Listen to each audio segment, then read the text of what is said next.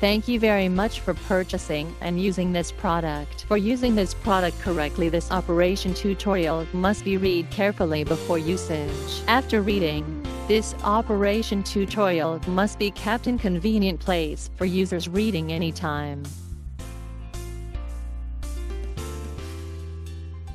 QFC 925 Fiber Optic Fast Connector Tutorial QFC 925 Fiber Optic Fast Connector Preparation Penetrate the fiber through protective sleeves. Use Miller stripper strip the 0.9 mm buffer.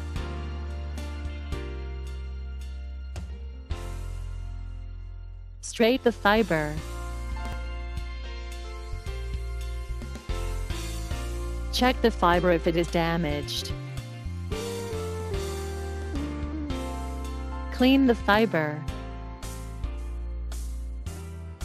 Put the fiber into 0.9 mm cutting groove of the cleaver. Cleave fiber for retention length of 23 mm. Cleave the fiber. Carefully remove the waste fiber. Insert the fiber prepared into the connector.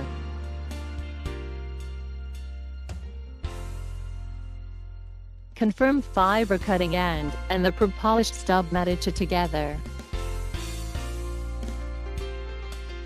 When fiber cutting and docking with the pre-polished stub, remove the key. Fasten the bare fiber. Push forward the tube. Fasten the 0.9 mm buffer. Install the protective sleeve to the end.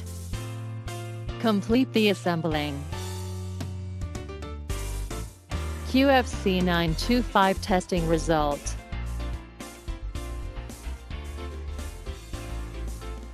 Insertion loss and reflection. QFC 925 rework tutorial. Press in the key, loose the bare fiber.